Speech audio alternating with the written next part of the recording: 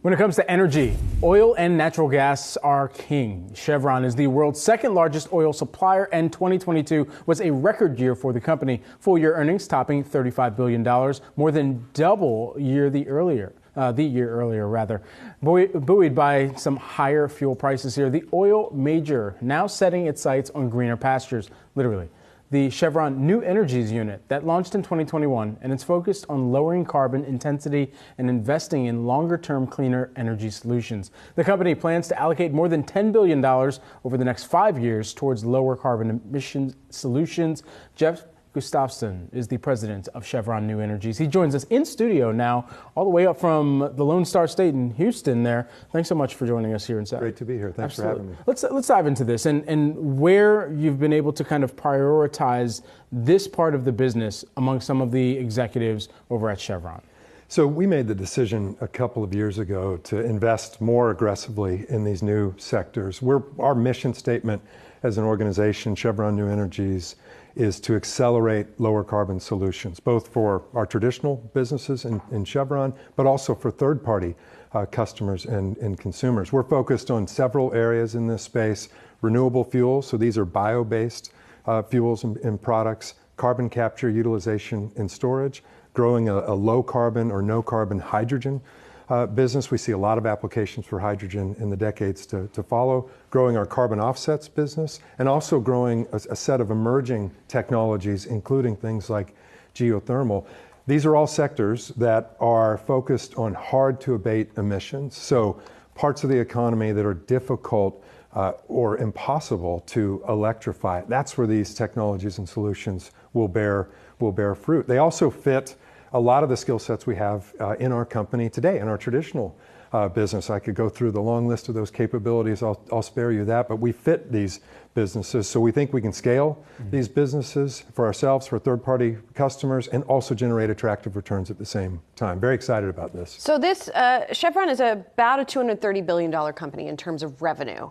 Um, all of that revenue now is from oil and gas right? So when is this going to actually bear fruit? The the businesses that you're talking about. So we are a, predominantly an oil and gas uh, company, a large uh, producing uh, company. You know, oil and gas represent more than half of the energy that the world consumes today. We see oil demand growing.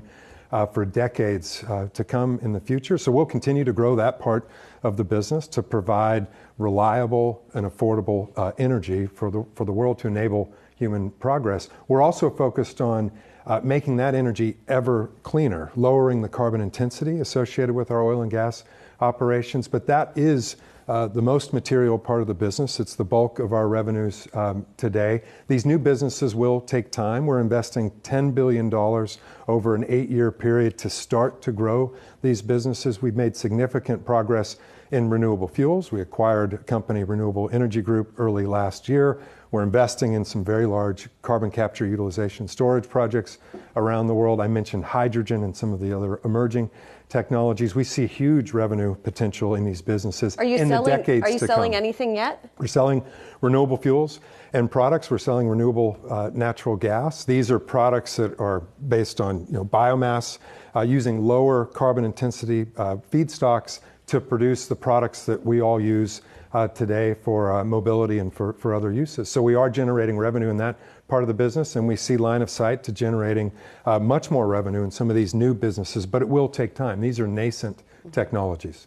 You're here in New York City right now on in, in a time period where we're seeing some of the worst air quality index that we've seen in our lifetimes. And for a lot of people, they think about what climate change, what that could actually feel like in the future, and they're trying to pair that with what they're experiencing right now over this past week wildfires or other inclement disasters that may also be a reality. What is the reality if we don't invest quickly enough or hit some of our targets that you've set forth at Chevron and other players in the industry around clean energy? So, this is a concern uh, for us, and it's a, a, a great example here just in the last couple of days in the New York area. It was very interesting to fly in yesterday and land yeah. in that. In You're that lucky kind of that you got that your plane got in. That, that's right. So that is, I mean, our lower carbon strategy. There's two big pieces uh, to this. It is to lower the carbon intensity with the traditional oil and gas products we produce today. These are critical mm-hmm. uh, for the world uh, today. Going back to these are reliable, affordable uh, products that the world consumes today, but also growing these new lower carbon uh, businesses and, uh, and solutions. We need to do both of those. Three, three key elements to the energy system. You know, energy needs to be reliable uh, to support energy security. It needs to be affordable to support economic prosperity, and it needs to be ever cleaner. We're focused on all of those aspects in, in both our traditional business and now these new these new businesses. Um, what do you say to critics of the industry who say it's been far, far too slow to make some of these changes? And, and to your point, not just about producing these new kinds of fuels, where I understand it's nascent, the technology is still being developed, but also um, if you are going to produce the fossil fuels, doing it in a cleaner manner where possible. Yeah, so we've been working on lowering our carbon intensity for uh, decades. Uh, th- these are not new. What's new is a couple of years ago standing up new dedicated low carbon uh, businesses uh, and solutions. And I mentioned the areas that we're, that we're focused on.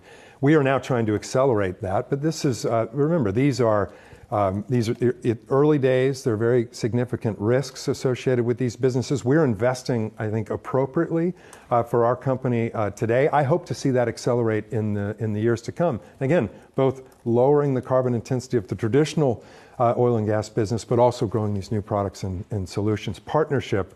Uh, with governments, with other companies, uh, will be critical in order to scale these businesses even faster.